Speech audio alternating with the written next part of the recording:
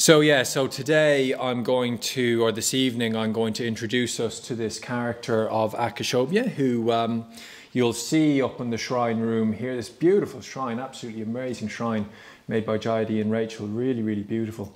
And um, Akshobhya is this deep blue figure uh, at the front here. And um, yeah, what I'll say is, first of all, a little bit about the whole mandala of these Buddhas, because we're going to hear from Akshobhya and then four more um, of these Buddha figures over the next few days. So I'll say uh, something about all of them um, as a group, and then I'll talk a bit more about um. So so Akshobhya is, he sits in the east of the five Buddha mandala. And the five Buddha mandala is basically, it's a tantric symbol. It comes from Mahayana Buddhism, from tantric uh, Buddhism.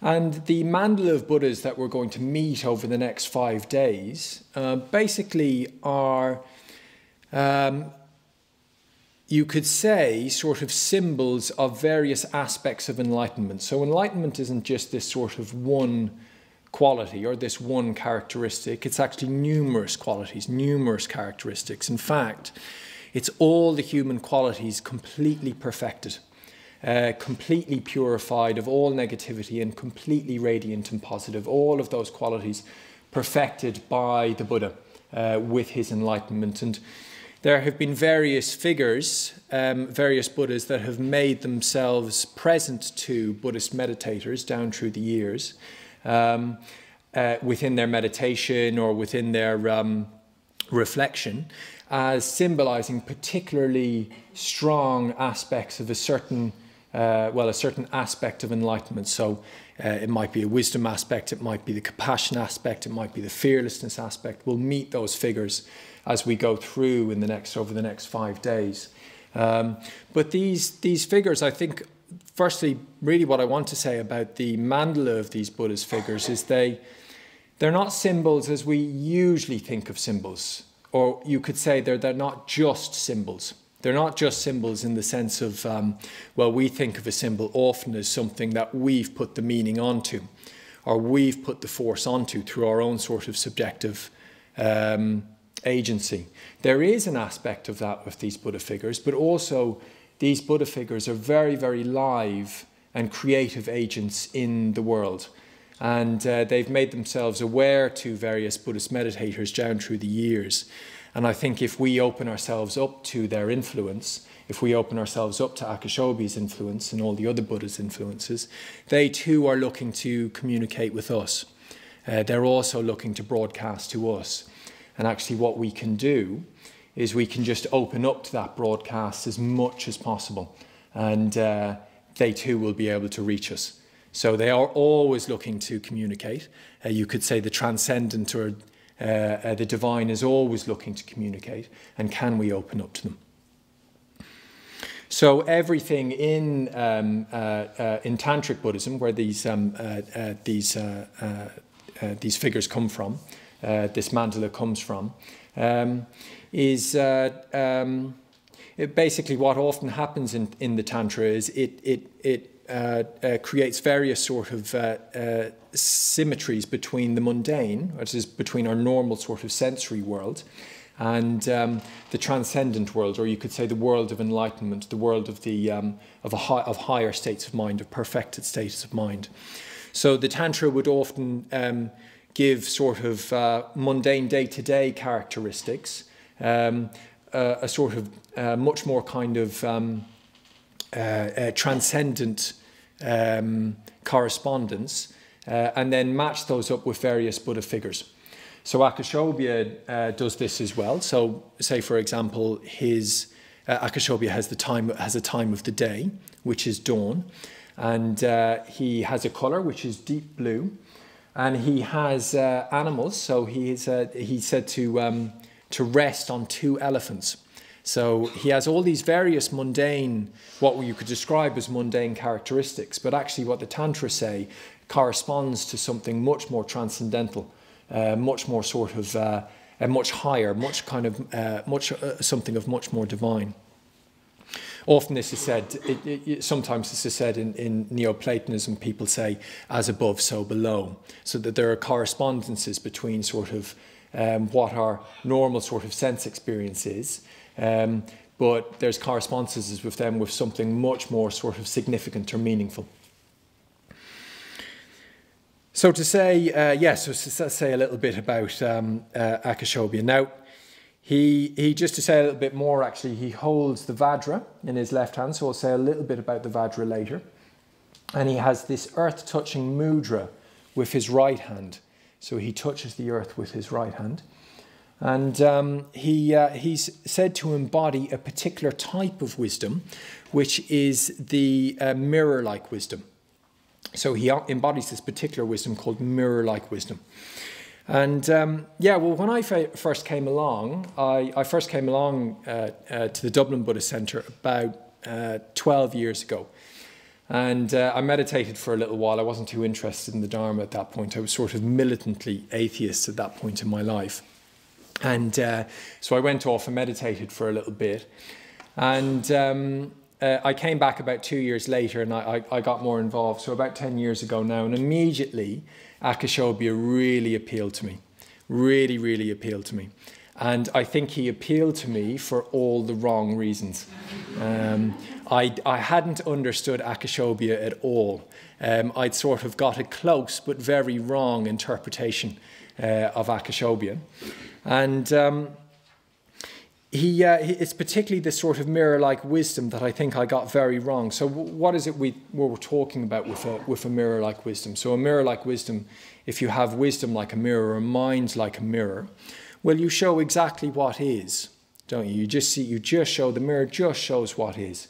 Um, rarely our minds just show what is. We usually distort in pretty significant ways, don't we? So say, for example, um, our minds, if we sort of distort things with craving, often what we do is we bring out, say, if we look towards another human being with craving, often what we do is we bring out the aspects of them that are positive, but then sort of subtly kind of put aside the negative bits, don't we?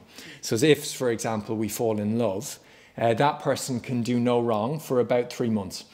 Um, and then their, their negative bits uh, start to sort of creep back in. We can't edit them out anymore, can we? They sort of start to creep back in. Um, and we feel deeply betrayed, like they've been sort of hiding it, but they haven't. It's just that we've just sort of shelved it. Shelved it. We've kind of edited their negative bits out. Similarly, if we feel very sort of negatively towards somebody, if we're averse to, sort, to somebody, we never see their positive sides, do we? We just sort of, all we see about them is the bad. So a mirror doesn't do this, does it? It sees the, it sees the positive and the negative um, equally uh, and isn't moved particularly by that. Similarly, a, a, a, mirror doesn't have assumptions about what it's going to see and then see it, uh, which is what our minds do as well, don't we? We sort of take a view to the world, um, which is a bit like, you know, uh, a certain way that we look at things. It's almost like, you know, you could put on a pair of glasses, for example, and it has a view. So a view, an, an example of a view might be, for example, nobody likes me. That might be a view that we put on every day. And we don't know that we put that view on every day. But we edit our world uh, to conform to that view. So we have assumptions about the world, attitudes about the world, and then our sense experience of the world, our experience of the world conforms to that particular view. So um, we say, for example, might, well, we might think that a certain group of people always do this or behave in a certain way. And of course, because we've got that view, uh, our experience will continue to confirm that for us over and over and over again, and it will set aside anything that disconfirms that. So a mirror again doesn't do that. A mirror just sees things as it is without views, without assumptions. Um, it doesn't assume what it's going to see and then, and then see it. It sees whatever's there. Um, similarly, uh, it doesn't push some things away and cling to others, does it? Um, so, say for example, if uh, you step into a mirror, the mirror, the mirror doesn't have, you know, it doesn't dislike you, for example, and your your image vanishes before your very eyes. Uh, neither, say for example, if you stand there and the mirror finds you particularly attractive or something, does the, the image linger in the mirror after you're gone? It doesn't sort of cling. So the mirror doesn't push away what it sees as what might be um, not attractive or ugly and cling to what is uh, attractive or, or what it craves. So the mirror doesn't do that, but we do that, don't we? We sort of push away what we dislike and we cling to very, very strongly uh, what we like. Uh, and we're always in this push and sort of pull uh, with our experience, always looking to get more of what we like and push away what we dislike. Uh, so we're always doing that, but the mirror doesn't do that. So, um, so, so Akshobhya uh, represents this mirror-like wisdom uh, in this particular way. And well, you might have started to get a sense of what that might be, say, for example, in your meditation uh, over the last little while. We haven't been here for long, but in your meditation the last 24 hours, because in a sense, meditation is a mirror, isn't it? It holds a mirror up to our minds. Um, meditation will show us what's there. Uh, it, it won't, if we're, you know, sort of in any way kind of doing it right, which I'm sure we all are, um, the mirror won't conform to our particular view of ourselves. The meditation won't, if, if we do it long enough and commit to it, we might have an idea of ourselves as being, say, for example, very wonderful people, very lovely people, uh, which will be partly true.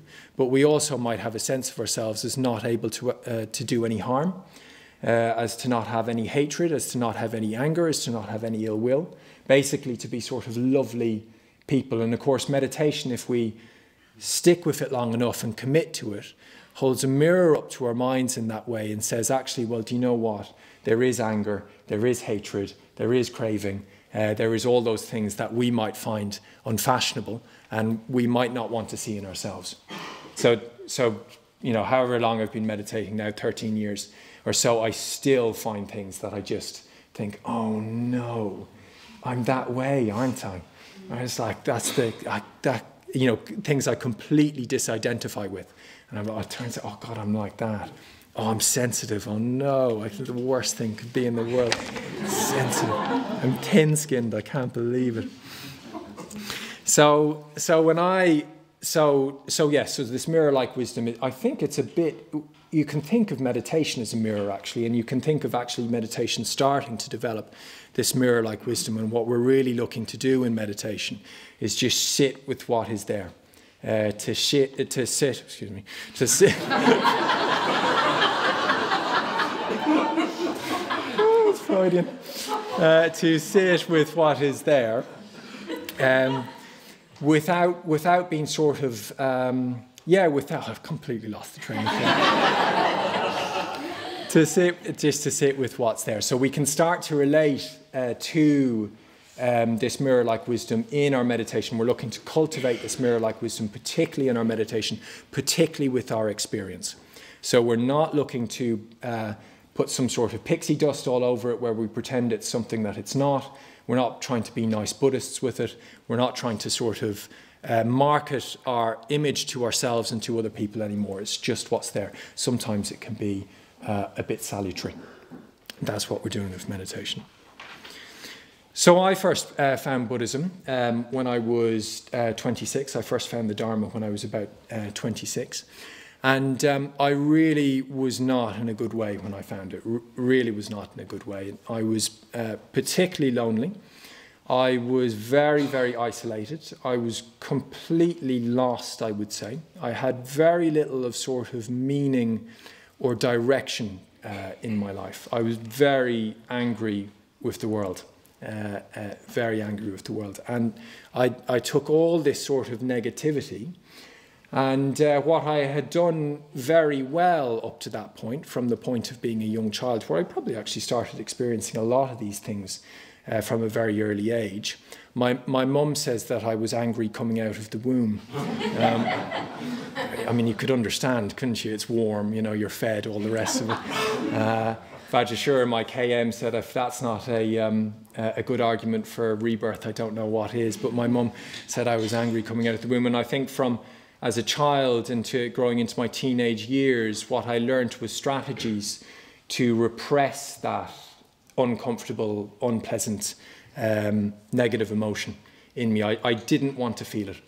Uh, so I, it was too painful to feel it at times. I just couldn't have done it. Um, so my strategy was just to cut off from it, to really sort of um, put all emotion and feeling at arm's length. Um, and I became very, very heady, very, very cut off from my emotional world, very cut off from my feelings. I, I felt things very, very strongly, actually. I still do. And um, I think it was just too much, you know, to feel the level of sort of, uh, you know, anger and, and lostness and all of those things as a, as a teenage boy was too much. I felt so strongly and I, I think I just repressed it, you know, that was my way of going about it. So I became very, very heady, very, very disconnected from my emotional world and very, very heady. Um, you know, I was basically, I was kind of like a life support system, a brain on a life support system. I wasn't, you know, was, I was just all ideas basically, that very little heart, very little emotion and very little feeling. And um, I saw Akshobhya and uh, I walked into the Dublin Buddhist Centre and they, they told me about his mirror-like wisdom. And I said, that sounds fantastic. Uh, that sounds absolutely brilliant. Um, because I thought Akshobhya's mirror-like wisdom sounded exactly like the sort of unfeeling objectivity that I really wanted in my life. I thought that sounds great. You're just completely objective. You don't let any sort of messy feelings get in the way or messy emotions in the way. You just see things exactly as they are. Like uh, you're, you're just completely like sort of, I don't know, like some sort of statistician like that or something like that, or like a scientist kind of, I don't know, or some jaded medical consultant, you know, handing out terminal diagnosis or something like that. I'm sorry, it's terminal, you know, so nothing you can do about it, you know. So, you know, like enlightenment is um, full frontal lobotomy or something like that. That's how, that's how I mistakenly saw Akshobhya's mirror-like wisdom. Um, I thought, oh yeah, fantastic. Well, that type of enlightenment really appeals to me uh, because I can just be completely objective. I can keep everybody at arm's length. Nobody will hurt me. I'll see things exactly as they are with no sort of mess. Um, I'll keep life at arm's length uh, and it will be great. That will be really great. I'll just see everything completely sort of factually.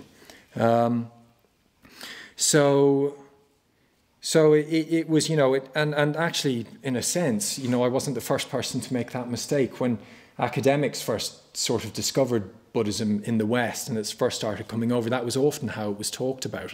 Um, Buddhism was sort of seen as this, um, as this very sort of passionless, kind of detached, unfeeling, unemotional um, sort of attempt to kind of numb yourself where everything would just be numb. This was the, the misunderstanding of Buddhism that came out at the time. This was academics um, who hadn't practiced Buddhism, uh, by the way. They were just sort of uh, trying to discover it and trying to learn about it. This is how it was often written about. And you can kind of understand, actually, because in some ways it, it can maybe make that mistaken impression. So, for example, we talk about in Buddhism overcoming the passions. Um, or we talk about the void, uh, or we talk about emptiness, or we talk about non attachment. So you can see how all of these sort of qualities of enlightenment, which were very, very rough uh, translations from the Pali and the Sanskrit, could, with, uh, uh, uh without a strong understanding uh, of the Buddhist tradition and the Buddhist path, be mistaken for um, just looking to make your world as 2D as possible, um, as sort of um, as numb and flat as possible, so that nothing ever perturbed you, nothing ever sort of uh, perturbed you, not because uh, you were sort of unshakably loving or unshakably wise, but because you were actually just disconnected from it. You were just heady, you had no emotion left. So it, it, it's not actually completely impossible to see um, how, um, uh, how that would be understood as that. I think probably culturally today, actually, we, we lean more towards that mistake still. Um, it's been very good watching Jnanavaca and Maitreyabandhu have these conversations and interviews with Iain McGilchrist. And um, Iain McGilchrist, very uh, intelligent, almost a genius. In fact, he's a, a professor in, um, in neuroscience and uh, uh, English in Oxford. And um, he's got this whole theory how the left hemisphere of the brain, it's not a very Buddhist way of talking, but let's, let's think of it sort of um, poetically.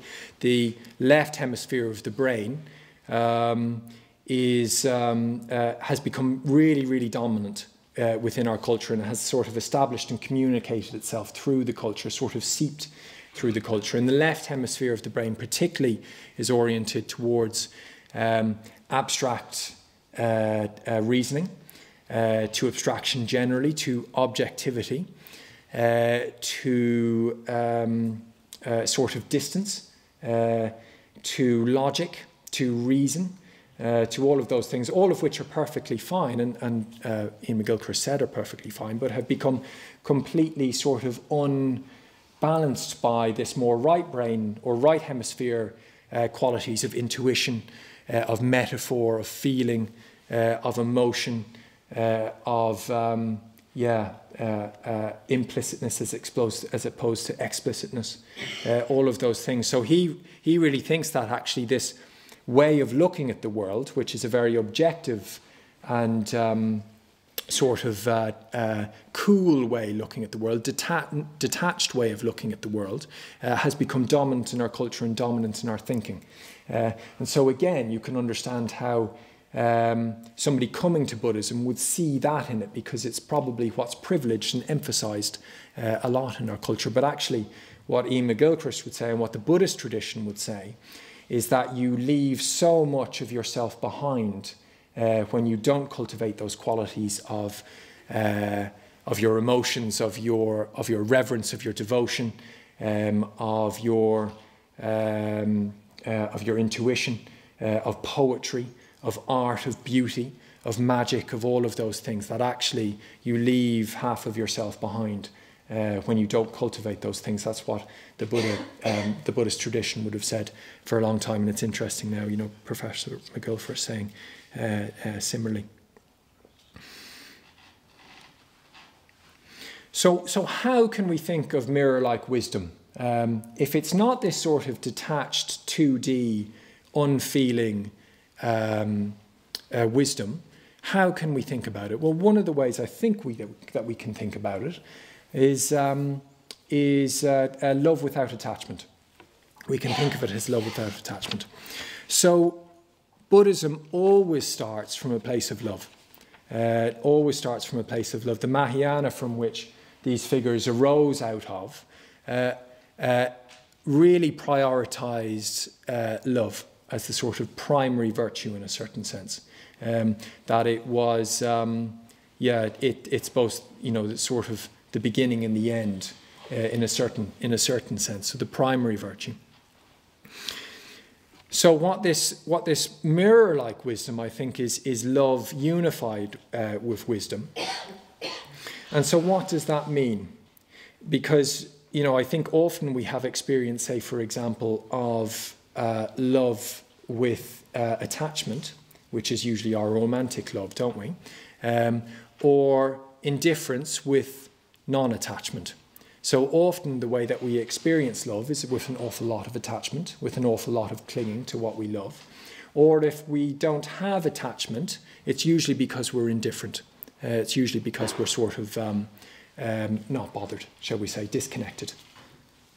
So Mirror like wisdom is a wisdom that has, is completely unified with love, uh, but is not clinging. It's not attached, which is a very, very kind of, I think it's a very, very difficult thing for us to imagine. Um, I think for most of us initially, actually, I, am certainly think say this talking for myself. What we need to cultivate before we ever think about cultivating uh, or cultivating non-attachment or, or dropping attachment is just cultivating love, uh, is just looking to cultivate, uh, in a sense, a healthy attachment. Um, a healthy attachment, for example, to our friends, uh, to our family, um, uh, you know, to people around us, and then we can start to worry about going beyond uh, attachment. In a sense, actually, you can only go beyond attachment from a place of a healthy human attachment. Um, the only way that you can actually really drop attachment in, in the Buddhist sense, from a wisdom sense, in a mirror like wisdom sense, is to have really cultivated a, a full human, loving, alive connection and attachment to people. And I think most of us need to work on this much, much more before we can actually start worrying significantly um, about uh, losing attachment. If we, if we drop attachment uh, without that ba uh, basis of love, um, all that we've done is we've become coldly detached. Uh, we've not achieved enlightenment. We've not achieved this mirror-like uh, wisdom at all. It was certainly the case for me, I think, uh, that first of all, what I really, really needed to do um, was just it was just cultivate much, much more attachment, particularly with my friends. I really needed to uh, cultivate an attachment with our friends. I think at the moment we are in a slight bit of crisis um, of friendship, actually. I think this is particularly true uh, of young men, actually. I think young men, particularly, are just not forming those strong friendships that they really should and a, and a strong attachment as they really should. And that was certainly the case uh, for me. So at the LBC, we really, really emphasize uh, friendship. It's something that we really uh, encourage people to put a lot of time into is their friendships. And I really uh, was hugely, really benefited from that teaching. If I had gone to another school, I might not have got that. In fact, I probably wouldn't have got that teaching. It's not a particularly common teaching. Um, in the Buddhist tradition. Had I gone somewhere else, I probably wouldn't. It wouldn't have been emphasized so much to me that I needed to make friends. Um, but I really did. I was really lost and I really needed to make friends. So we really emphasize uh, friendship. And of course, we, we always re we really emphasize metta as well. So tomorrow, for example, we'll be uh, learning the, the Metta Bhavana. And that you could think of the Metta Bhavana as cultivation of friendship or cultivation of love. And um, uh, at the LBC, we, we really focus on both of those things because if we're going to develop a mirror like wisdom, actually, what we just need to do is start from a, a really, really strong place of love. Mostly we do think of sort of love in the romantic sense, don't we? And of course, there's very, very, there's lots of attachment with that. It's very, it's very hard to sort of fall in love with somebody romantically and just be completely well wishing towards them. I mean, that'd be almost impossible, wouldn't it? Like, say, you could imagine, say, for example, you fall madly in love, and your beloved comes to you one day and says, uh, Darling, I've found somebody, they're absolutely perfect for me. Uh, I'm so happy I'm leaving you. Um, one's response is not likely to be, Well, that is fantastic. I am so happy for you. Uh, all my well wishing to you and best of luck in future life. Uh, it's not likely to be the response. So there's love there, but there's an awful, an awful lot of clinging around it as well. Not that there's anything wrong with romance. It's fantastic, um, uh, I think, I, I, can remember. Um, so, um, so our well-wishing is often conditional, isn't it? It's conditional on you do this for me, and I'll, I'll, uh, I'll wish you well.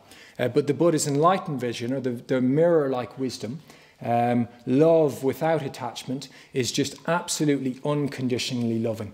Uh, it, it does not matter um, what happens. Akshobhya's name means unshakable. And you could think of that actually as an unshakable love, uh, uh, an imperturbable love, uh, a love that is, is, is just not affected by the externalities of the particular thing that uh, one loves, uh, that, that it's completely unconditional, an incredibly high ideal uh, uh, to look to and one that is, well, in the Buddhist tradition, actually, it's lifetimes of work, but it's certainly enough for, for one lifetime and, and probably many more. So, so what we can do actually is one of the ways that we can start to train in this love without attachment is, is, is through friendship. Friendship is probably the place that you will most likely start to experience very, very strong sense of love, very, very strong sense of affection, but without that sort of clingy attachment that often comes with romance, for example, uh, with, uh, without the conditional well-wishing and more towards the just, um, the just straightforward well-wishing. Of course, it doesn't always happen in friendship like that, but that will probably be the place where we can start to uh, uh, train in it more and more. I had a very, when I, I think of this, I had a very, um, my good friend Dianatha, he's, um, he's at Padmaloka actually, I think, over this uh, couple of weeks, but we, we shared a room uh, for three years. That always sounds romantic, but it, it wasn't. It was platonic. And uh, we shared a room for three years just above the, um, uh, the LBC in the Samogawasa community. And um, we became very, very close. Uh, I can say I love Dayanatha very much. Um, we became very, very close in the, in the three years that we shared. He's the other uh, men's Mitra convener at the LBC, and we, we really sort of just almost became one. I mean, it's funny, you do actually start finishing each other's sentences. We started to think we should get his and hers towels or something like that. but our minds did, just did just start to sort of mold together. Um, and um, yeah, we, we, we, I think we built a very, very strong affection for each other. And I remember when he had, uh, he was discussing to go down to Sukhavati, which is the community downstairs. And um, were sort of discussing it with me, and he sort of hummed and hawed and went to and from about it. And, um, and uh, uh, because he's a very uh, upstanding and um, uh, yeah, because he's a very upstanding man, he decided to go down. Uh, they needed him in Sukhavati, and uh, that he decided to go down to help there, particularly in the community. And um, so he decided he would go down. I said, okay, that's, that's no problem, Dayanatha. And we was fine. As it, as it came to the sort of time that he was due to go down, I started to get upset, but I didn't know what I was upset about. Uh, this is a very common thing with me, I'm afraid. I'm still learning my emotional world, and sometimes I get upset, but have absolutely no idea what I'm upset about. And um, what I usually need to do when I get in that state is talk to some of my friends and uh, try and establish what it is that I'm upset about. They sort of, sort of go down through a list. Hmm, is it that? Is it that? I think, oh no. So I was sat in um, uh, with uh, Dayanatha one day, and uh, he was going, oh, well, is it this? You know, a little, it was a little, there was that, that sharp text from your brother a few weeks ago. I said, no, I don't, I don't think it is. No, I said, well, no, you got, you got, you've um, got that retreat coming up, don't you? You of mightn't be looking forward to that too much. Um, no, I don't think it's that. I don't think it's that. And he said, well, well, it might be because I'm going. And I, said, I think it was about to say, get over yourself, but as soon as he said it, I knew that was it. I knew that's what it was. I just, it was like somebody had just given me this big sort of kick in the chest, and there was no doubt whatsoever um, that I was upset because Dinath was leaving. This three years that we had sort of sharing a room together um, was coming to an end. Uh, Dinath uh, uh, was going downstairs to help Sakavi, and I was really uh, upset about it, and I actually burst into tears.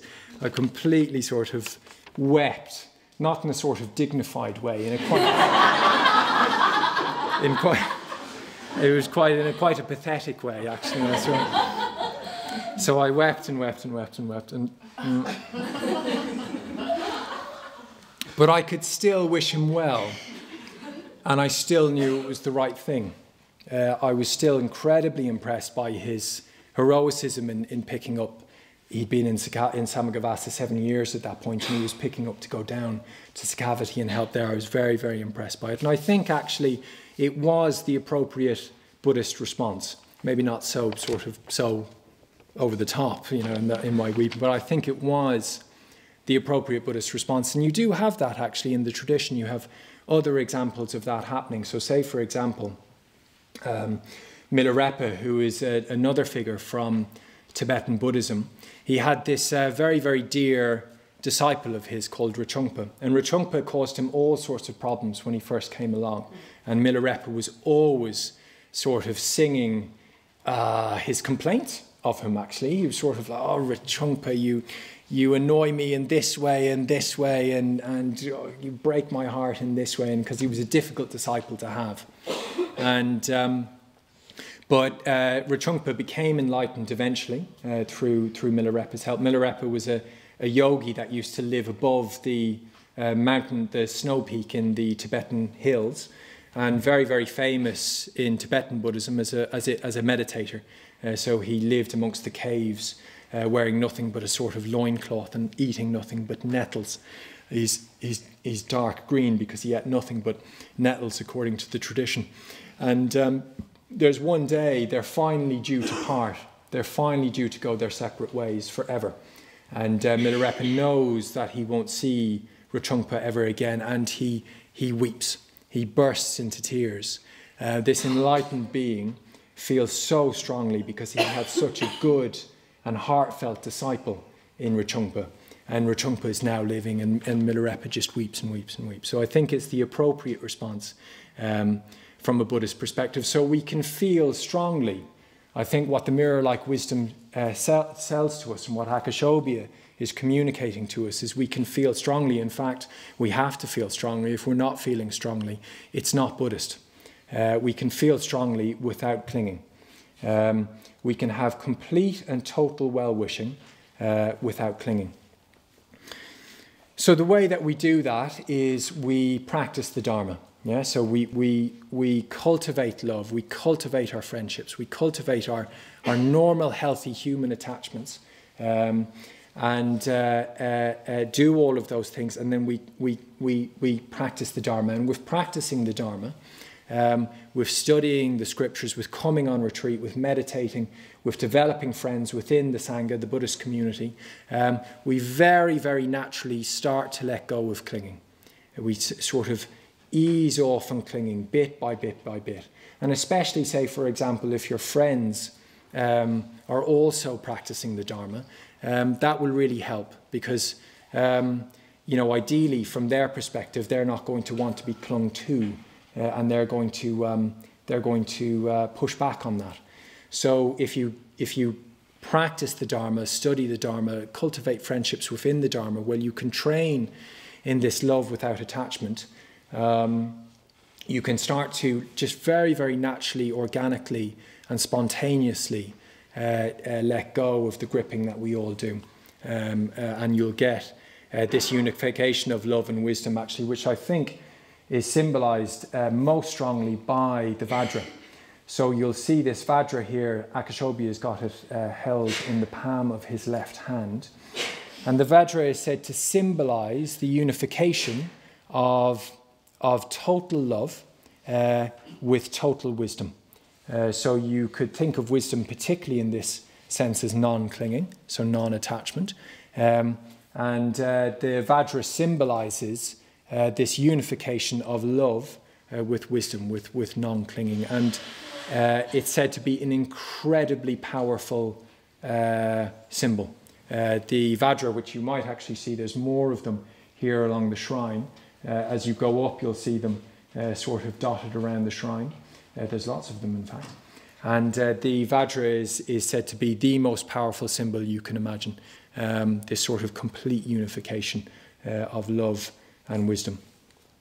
So I'll, I'll leave you just with one final little story um, about, um, well, my experience of that actually, just in terms of what happens when love starts to let go of clinging, because actually what happens is not, is not less love, but more. So I, um, I've got two younger brothers, and um, uh, uh, uh, both of them uh, I, I'm very, very close with. We grew up together, quite close in age actually. One uh, two years younger than me, and the other two years younger than him. So four years between us in total. And um, uh, it was a slightly chaotic household. My, my parents got separated when both my parents were very loving and, and um, very good. I, I owe a huge amount to both of them. Um, but it could sometimes be a bit of a chaotic household, and, and my parents separated when I was eight. And one of the things that often happens uh, among siblings in, in um, separated households is they turn very, very much in towards each other.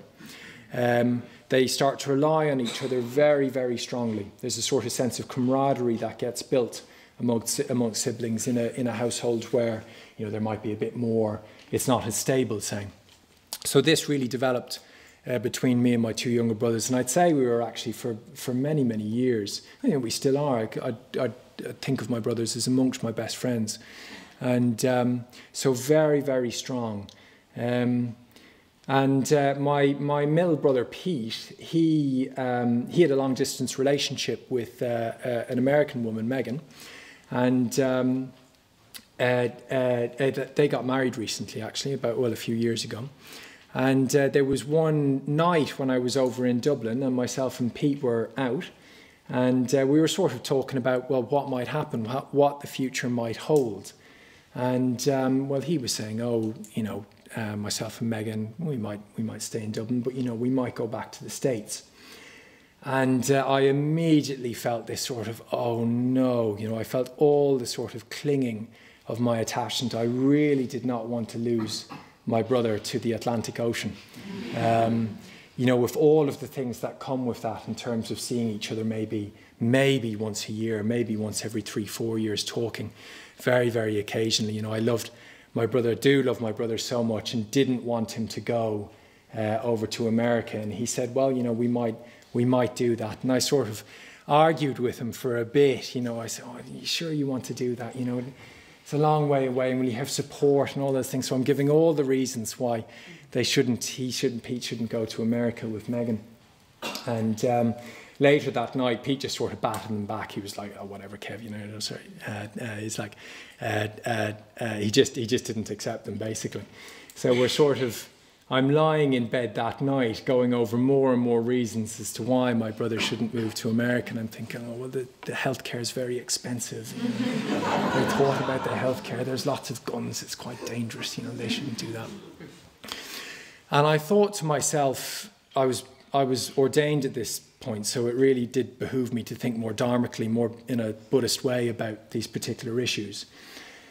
And I said to myself, Amalayodhin, come on, you know that you must be separated from everything and everybody that you love eventually, uh, that you cannot cling to them, you cannot hold to that. Uh, why are you doing it with your brother? Uh, that also must end at some point. And with that, just as I let go in that way, this well wishing, this current river of well wishing and love just sort of flowed through me. And um, I just thought, you know, whatever they do, all I'm going to do is wish them well in it. Um, all I'm going to do is support them. All I'm going to do is give my affection.